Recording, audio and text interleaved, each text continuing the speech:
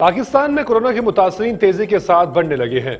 मोहलक virus मजीद अड़सठ जाने ले गया, जिसके बाद अमवात की कुल तादाद एक हज़ार आठ सौ अड़तीस हो गई है, जबकि तस्दीक शुदा केसेज मजमू तौर पर नवासी हज़ार दो सौ उनचास तक जा पहुँचे हैं।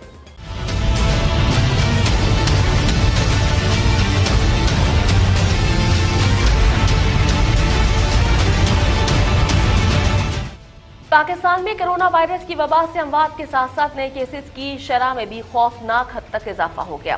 गुजशत 24 घंटों के दौरान मुल्क भर में मजीद अड़सठ अफराद कोरोना का शिकार होकर जाम बहक हो गए, जिसके बाद अमवात की तादाद एक हज़ार आठ सौ अड़तीस तक जा पहुँची, जबकि मुसदा केसेस की तादाद नब्बे हज़ार के करीब पहुँच गई है।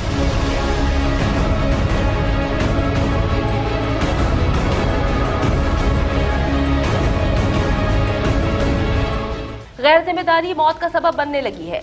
जानलेवा वायरस होने वाली अमवात में से सबसे ज़्यादा छह सौ उनतीस अमवात पंजाब में हुई, जबकि सिंध में पाँच सौ पिछहत्तर खैबर पख्तूनखा में पाँच सौ इक्कीस, गिलगित बल्तिस्तान में बारह, बलोचिस्तान में तिरपन और इस्लामाबाद में इकतालीस मरीज़ जान से हाथ धो बैठे हैं।